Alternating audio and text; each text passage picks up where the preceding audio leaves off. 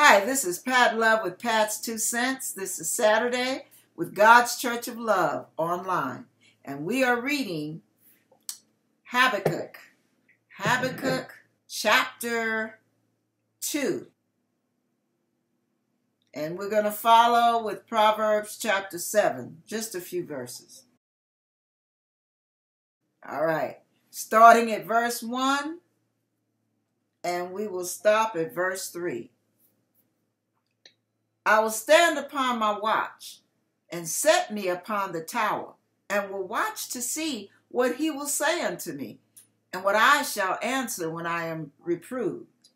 And the Lord answered me and said, Write the vision and make it plain upon tables, that he may run that readeth it. For the vision is yet for an appointed time, but at the end it shall speak and not lie. Though it tarry, wait for it, because it will surely come. It will not tarry. Wow. All right. Now, I know you that pretty much speaks for itself. But just in case you get a little cloudiness on understanding, sometimes God gives visions. And Joel's going to explain that. Sometimes God gives visions and he'll show what's coming. And, you know, you can get a vision through a dream. You can get a vision, an op- they call it an open vision, where you fall into a trance and you see the whole thing happening right before your eyes, wide awake, your eyes are wide open, but you're somewhere else and you're experiencing something or something happens in your mind. You get a mental picture and a whole scenario plays in your mind. You can either hear the dialogue or see the activity or both. Or you get a snapshot, a mental picture of something going on. So, those are the three main ways you'll get visions. And we are going, and this is something we need to do. This is my little quick word of encouragement here, of admonishment. Get a tab, a tablet, a, a pad, writing pad, pen and paper. Keep it near your bed. You may be, it may begin that you may start waking up in the middle of the night from it, um, dreams that are very detailed write them down, and then go back to sleep. Pray about it. Ask God for understanding, supernatural revelation. It's deep. Now, this is what I want you to listen to. We're going to Proverbs chapter 7 because this is a caution. When God is starting to do something in your life, oftentimes Satan will he will run interference. And this is what we have to be careful of. And y'all pray for me because I am definitely trying to feel God on this right here. Uh, Proverbs chapter 7. And it reads, My son, keep my words and lay up my commandments with thee. Keep my commandments and live. My Lord as the apple of thine eye. Bind them upon thy fingers, write them upon the table of thine heart. Say unto wisdom, Thou art my sister, and call understanding thy kinswoman. Keep them real close. Wisdom and understanding. Whoever has their mic on, you guys please mute your mics for the sake of the recording, that they may keep thee from the strange woman from the stranger which flattereth with her words. Now, for those of you who don't quite understand who the strange woman is, this is allegorical. The strange woman is any form of interference Satan tries to run your way through temptation, through enticement, through distractions, through alluring of your flesh, the desires and longings of your flesh that you don't need to be paying attention to. Hmm. things you don't need to entertain, things you don't need to, to set your eyes on. For example, Andrea was supposed to go somewhere today and have fun. She chose not to go because she found out they were going to include tarot cards and, you know, this kind of um, occultic activity, which she had no idea they were going to do. And she said, Oh, no, I'm not going to that. Now, some of you need to have that kind of resolve. All right. Now, listen to this. Say unto wisdom, Thou art my sister, and call thou sister, and call understanding thy kinswoman, that they may keep thee from the strange woman. We already dealt with that. From the stranger which flattereth with her words. For at the window of my house I looked through my casement, and behold, and beheld among the simple ones, I discerned among the youths a young man, void of understanding, passing through the street near her corner. And he went the way to her house. And behold, oh, wait a minute, let me share this with you real quick. This is Pat's two cents. Listen, years ago, my first husband, my ex husband, had an addiction. It was not addiction to drugs, nor was it to alcohol. It wasn't gambling, right? But his addiction was to pornography and prostitutes. He went and applied for some jobs.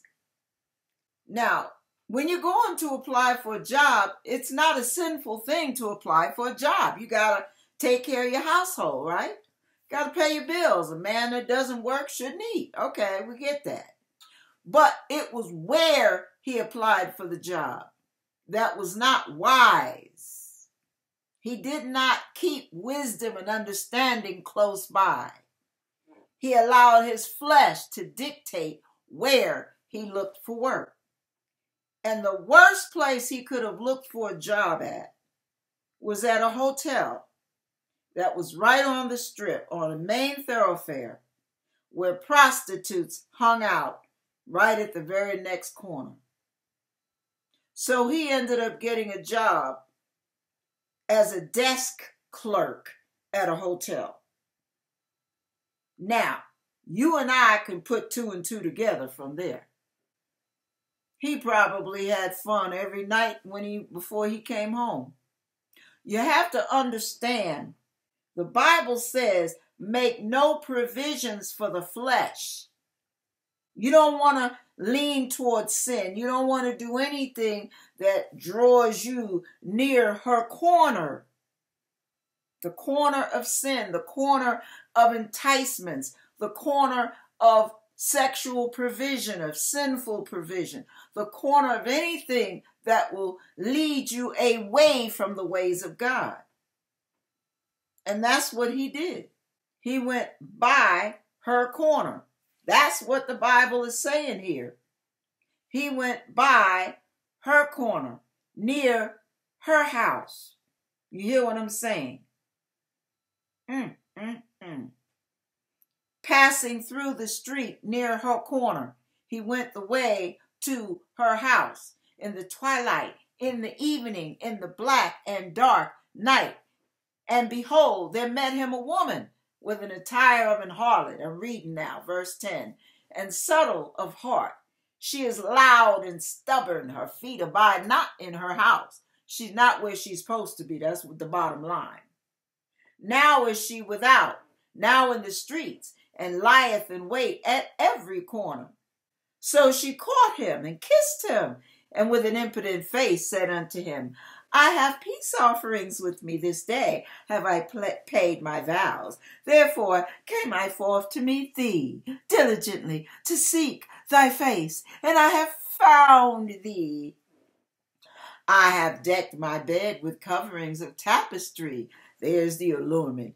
There's the enticements. Let me finish reading. With carved works and fine linen of Egypt, I have perfumed my bed with myrrh and aloes and cinnamon. Come, let us take our fill of love until the morning. Let us solace ourselves with loves. For the good man is not at home. He is gone a long journey.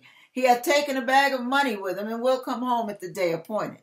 With her much fair speech she caused him to yield with the flattering of her lips. She forced him. He goeth after her straightway as an ox goeth to the slaughter, for as a fool to the correction of the stocks, till a dart strike through his liver, as a bird hasteth to the snare. A snare is a trap, and knoweth not that it is for his life. Hearken unto me now, therefore, O ye children, and attend to the words of my mouth. Let not thine heart decline to her ways. Go not astray in her paths. For she has cast down many wounded, yea, many strong men have been slain by her. Her house is the way, the way, the way to hell, going down to the chambers of death. Think on that for a minute. Think on it. What provisions are you making to fulfill the lust of the flesh? What plans are you laying out? Hmm? You notice some people, I haven't lost my train of thought. We're dealing with visions. Some people lose I mean, some people get discouraged. Life hits them in the gut. They get, you know, they knocks the wind out of them, and they use the negative emotion, the negative activity, the feeling of hopelessness, the feelings of discouragement as an excuse to go to the store and buy a gallon of ice cream and down that bad boy in one sitting. Ugh. They use that excuse to eat a whole package of cookies. Some of them are really bad. They use that excuse to buy a bottle of liquor and chuckle up, chuckle up, chuckle up. Yeah. Look not on the wine when it moves itself right in the cup, when it gives its color. No, don't get all caught up in all those enticements. When you get discouraged, when you get frustrated, when things get delayed, held back, or hindered. Don't use those things as an excuse to turn back to the beggarly elements of life and sin. Because God is ready to do something in your life. See, Satan knows how to run interference. I don't know that much about football, so let's talk about basketball. Basketball or volleyball. When you run interference, when you see the opponent getting the basket, they're getting ready to shoot the hoop. Or you don't want the ball to get to their best shooter. So you send your best defense players around that shooter so that they can't even get the ball to that person. That's how you run interference. People who shoot pool, you ever watch Minnesota Fats? I'm just sharing this with you. It's a practical word, so, you know, fly with me on this. Uh, humor me. Minnesota Fats, when he played Willie Mosconi, Willie Mosconi was very you know, he was a class act. He would just walk around like a total gentleman and concentrate and do his thing. Minnesota Fats, he's from the streets. He knows how to use his lips to take your mind off of what you're doing. He tries to push your buttons so he can get your emotions in the game. Get your emotions in the game, get you upset. You get distracted. You get distracted. You lose, baby, because you lose your concentration. You lose your focus. And see, that's what a lot that's what Satan does to a lot of God's people. He wants you to lose your focus so that when God shows you the vision, you can't see it. You can't see it plainly. You don't know what you're looking at because you're so caught up in the moment. The moment has nothing to do with the vision. Satan knows what he's doing. So here's Willie Mosconi shooting pool with with with uh with Minnesota Fats. What's Minnesota Fats? You know, yakety yak, yakety yak, yakety yak. Oh yeah, you know, blah blah blah, boom boom boom, blah blah blah blah blah. I mean, I could imagine somebody gambling for a hundred or five hundred dollars, and the opponent, like like Minnesota Fats, is sitting up there talking about, man, I saw your wife, boy. I tell you, she doesn't look like nothing, boy. How'd you end up with a messed up woman like that? You know, I was watching you the other day. I thought, boy, that man is pitiful. You really think you can shoot some pool? Man, you can't, boy, you can't pull a trick out. you can't pull a trick out of a bag of, of trick or treat. You can't do, I mean, just, you know, you're so ugly, your mama, you know, all these little crazy things to get you caught into the game emotionally.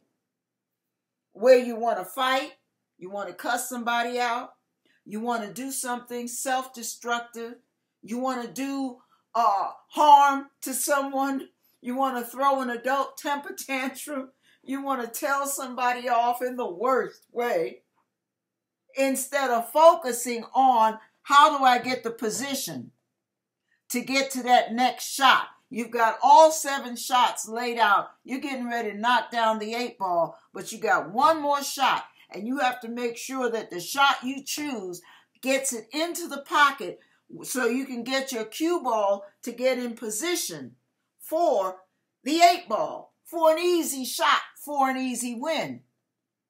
But if somebody's got your mind going and your emotions revving up and you're welling up with all these negative emotions and you're full of the defense mechanisms and your feelings are getting hurt, you're being offended and you're being bothered, distracted, angered, all of that. You're liable to miss cue. You forgot to chalk up your stick. You don't know what to do because you're so busy. You got one eye on the game and you got the other eye on your opponent, who you should not be paying any attention to. So your attention is divided. You might as well be looking at your shot cross eyed. Think about that. You got to keep your mind. The, the Bible says people perish without a vision, or without a vision, the people perish. You have to have a laid out plan, a mapped out plan, a strategy to get from point A to point B. Now, I know I'm a pool shooter, so you guys just deal with it. but when I used to I used to practice with the, the book by Willie Mosconi on how to lay out position. And he said you should know from your first shot to the eight ball what all your shots are going to be. It should all be lined up. So you got to stand there and walk around the table and look at it from all perspectives high and low, far, near, right, left so that you could get a real good idea as to what would be the most logical way to get around all the other guys' balls and get your position and make it simple. Keep it as simple as possible. Only use English when you need to. Don't put a spin on the ball if you can let just let the ball roll. So you got to have all this laid out. But if you're busy, listen to yakety yak, yakety yak over there you're going to lose your concentration. You even forget what your fourth shot was going to be. Oh man, you forgot. Then you didn't lay out your English so that you your position is right. So your position for that shot isn't lined up and now you're blocked by his ball because you didn't do the position right because you weren't concentrating. One eye on your opponent, one eye on the ball. Your mind is split. Your your attention is divided. God's trying to talk to you. Picture this God's trying to talk to you. He's trying to share something with you. You're so caught up in what so and so said on your job, and you are teetotally pissed. You are eating fire. You're burning from within. fire shut up in your bones, and it ain't the Holy Ghost fire. You ticked off. You ready to get up in somebody's you know what? Because of their mouth, because of their attitude. What does their attitude have to do with your day at work? Don't ever let anybody else steal your joy. Don't let that person have that kind of power over you. Jesus gave you all authority and power over all the works of the enemy. Take that authority. Stay focused. Keep your ear peeled to the heart of God. Keep your mind stayed on Him, His Word, His righteousness. Don't get caught up in neeny, neeny, neeny nonsense. See, a lot of you, God's trying to let you know what your calling is. God's trying to let you know what He has planned for you down the road. You're so caught up so caught up that you can't hear him. I'm going to do a quick exercise. Let's see what I can do here. Okay, let's we'll call some rabbit. This is your life. Uh, yeah, here we go. Let's get this bowl. My little, yeah, doing my little uh, this is what I was using. Got all my little stuff in here, doing my little uh, you know, decorating. Okay, listen to this. Now, check this out. Here, here you are trying to hear God's word. You're trying to hear what His voice is saying to your spirit. You're trying to be led by Him. God wants to show you a vision so He gets your attention with His voice. And that's what's going to start happening. So, y'all get ready. Now, listen to this. So, here you are God is talking. So let me just act like I'm on the voice for right now, you know, just human me. And then this is going to be all the distractions of Satan, messing with your mind, messing with your discouragement, messing with your doubts, your fears, your insecurities, your your your uh, tendencies to lean to your own understanding, to get caught up in sexual desires and emotional desires and distracting and eating all the wrong stuff, running to the store when you should have been still reading the word, but you're running to the store to get your pacifier because you're upset. And here you are, all your distractions. Now, can you hear what I'm saying to you? You can hear what I'm saying to you. I want you to go around the corner. I'm going to show you a vision. Drive up the hill and I will talk to you there. Now, do you know what I just told you to do? No. Because you get you let the vicissitudes of life jack you up and totally steal your attention. Totally distract you, like Minnesota Fats and Willie Mosconi. Totally distract you. You miscue, you don't put chalk on the stick, you forgot what your position is because you're so busy concentrating on the nonsense that's being shoved at you so that they can win the game on, on default. Yeah. And here you are trying to hear from God. You're trying to walk with Him. You're genuinely trying to walk with Him, genuinely trying to follow Him. But you're so caught up in life and its mess life and all the nuisances and all the aggravations that come with it. You're caught up in that. When all you have to do is get up out of the rain and get inside, sit down, and hear what God has to say to your spirit. But you have to be still and know that He is God. You're looking for Him to thunder to you through through the lightning and oh so and so I want you. No, no, he ain't gonna shout over your nonsense. Half the time he's all, a lot of times he speaks with that still small voice. And if you got all that noise going on and all that clutter in your life and on your mind and everything taking up your emotions, you're not going to hear him. Now, what I said was I'm going to show you a vision, but first I want you to drive up the hill and I want you to meet me there I'm going to show you something. I'm going to talk to you. You you couldn't have heard that. You got too much going on. What you got going on in your life that's all that important that you can't lay it aside? Does God have your attention? Listen, let me share this with you.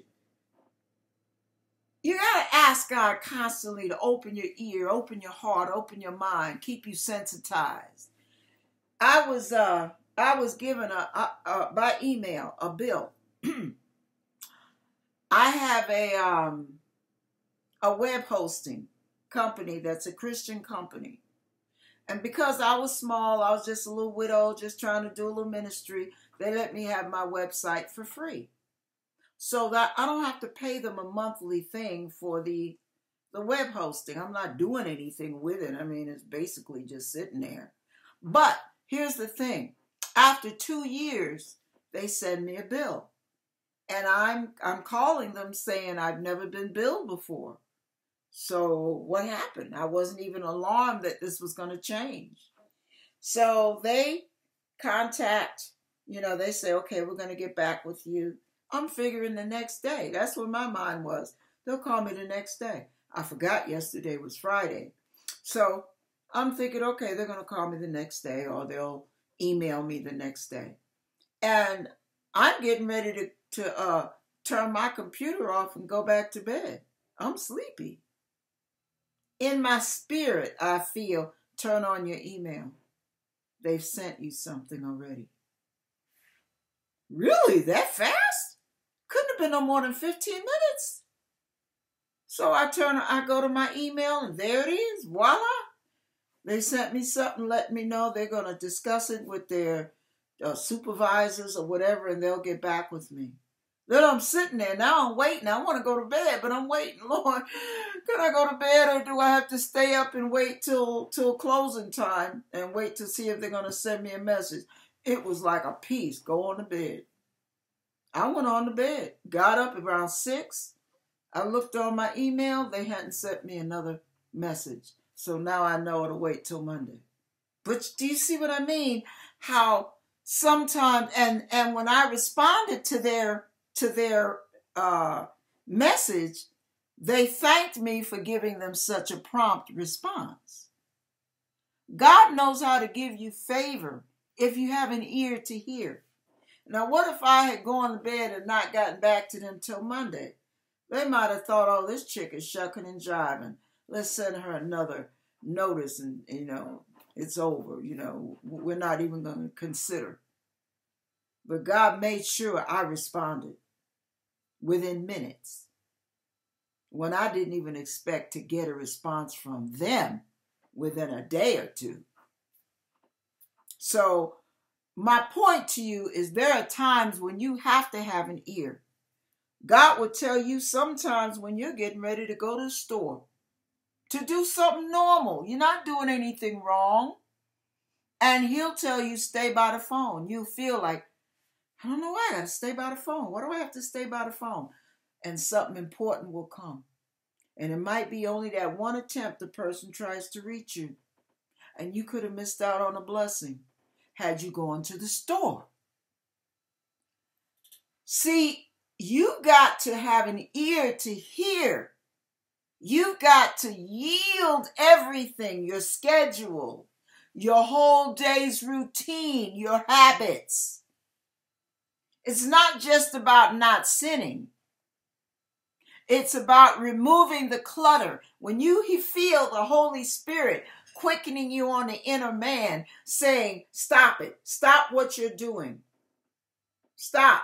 I need your attention.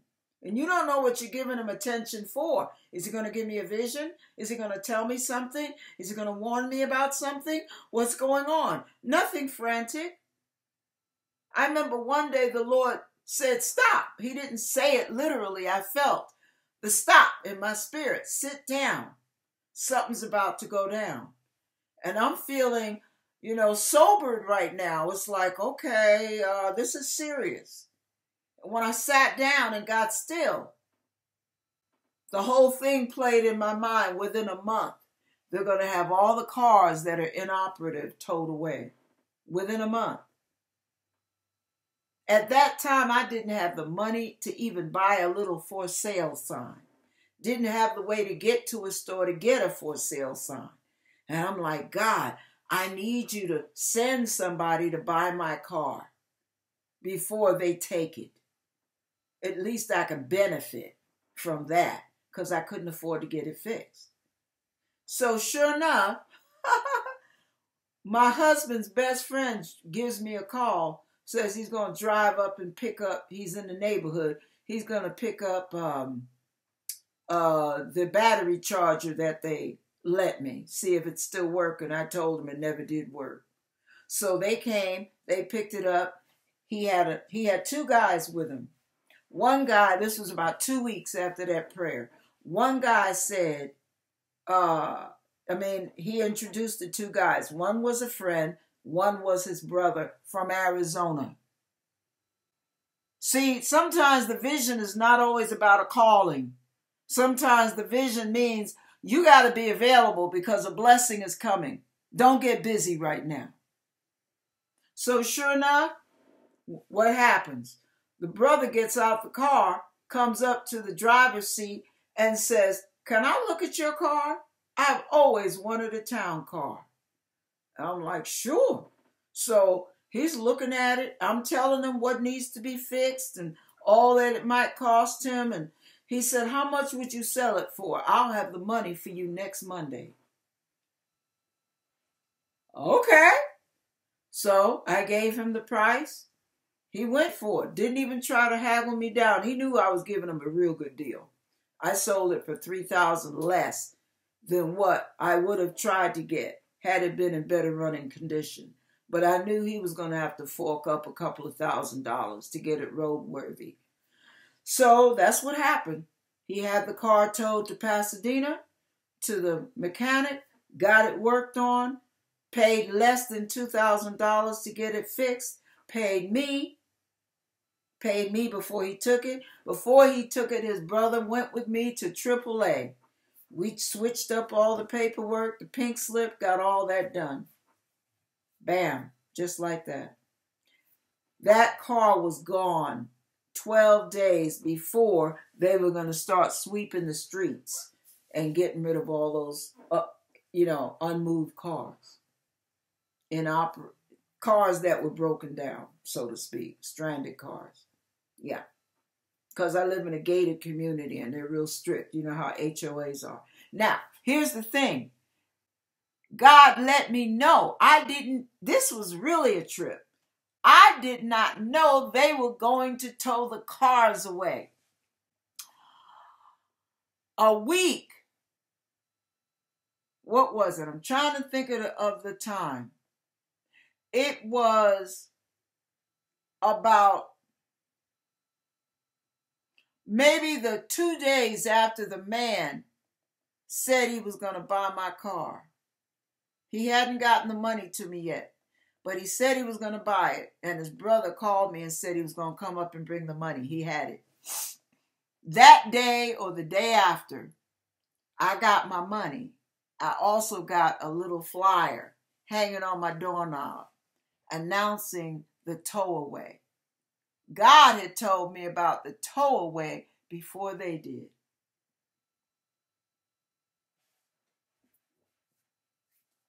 There are so many troubles, so many things in life that can trip you up and catch you by your blind side that can pull the rug out from under you and have you tumbling down a hill and all hell starts breaking loose because you didn't hear the first thing that he wanted to say to you.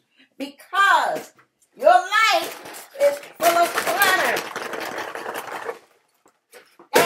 and emotional up, upheavals, caught up in stuff, the cares of this life.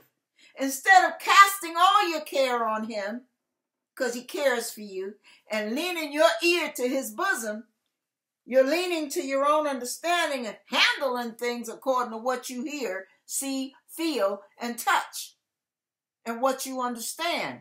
according to your own understanding. So if God has a blessing coming your way, if God has made a way where there is no way, you don't even get that because you're not consulting with Him. You're not asking Him. You're not seeking Him. You're not giving Him your ear, your attention your focus? No, you're focusing on the problem, on the waves, on the noise, on the roar, on the lightning, on the thunder. No, you don't have time for God because you're in a trick bag. You're in a quandary. You got to handle this. No, you don't have to handle nothing. If you cast all your care on Him, trust me, He'll handle it. No sweat off your back, no stress, no worry, Hmm.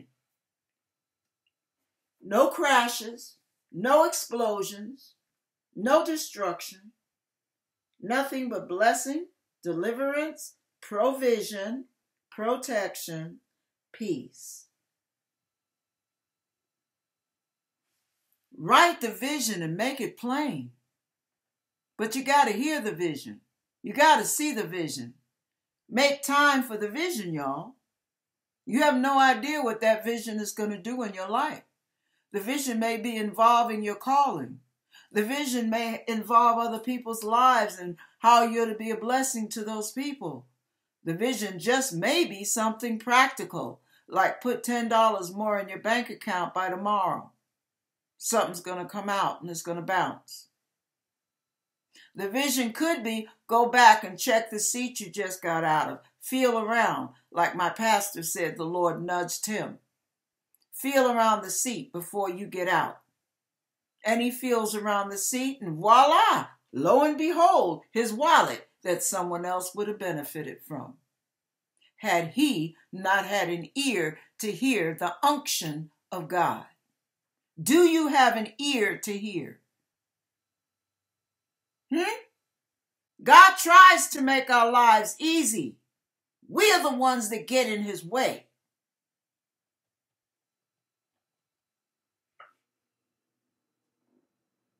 Pray. This is how you have an ear. Pray constantly. Read his word. You don't have to be on your knees all day. Come on, you got to work. You got to function. You can be talking to God while you're doing the dishes, talking to God while you're taking out the trash, Lord, please remind me to do so and so. Don't let me forget. Please, please. And the whole day is going, you're so busy and you but you pray. And what happens? All of a sudden a, th- a thought thunders in your mind. Handle that. Oh, I forgot. Thank you, Lord. And here you are, the last hour, but you got time to get it done. Pray. Read your word. That sensitizes your spirit to the voice of God. You may be bored by what you read. You may not understand everything your eyes see, but your spirit is still getting fed. God's word does not return to him void, it accomplishes what it set out to do. Even if you don't know what it means, it'll still do what it's supposed to do in you. Read His Word. Be around God's people. Seek godly counsel. Don't lean to your own understanding. Proverbs, I think it is, I may be wrong, but there's a scripture in the Bible that says, and there is safety in the multitude of counsel. Get get godly counsel whenever you can. But sit your behind down, put your life in park for a minute, and give God time to talk to you through prayer, through the word, through counsel, and the preach word of God. He'll even talk to you through songs. He'll give you a song. I was asking God, I can't tell you how many times I've asked God, am, am I done with the YouTube channel? And all of a sudden, Yolanda Adams is flooding my mind. Don't give up on you. I forget the name of the song, but don't give up on you. It was like, keep going, keep pushing, keep doing. Don't give up on you. The dream is real. Don't give up. Keep doing it. I get that through song. Song just comes to my head and it won't go away. God talks to us in many ways. I pray that you have an ear to hear what the Spirit of God has to say to His church. God bless you. I hope that helps. Develop an ear so you don't miss out on your blessings, so you don't miss out on the visions that God has to give to you, so you don't miss the warning signals. God bless you.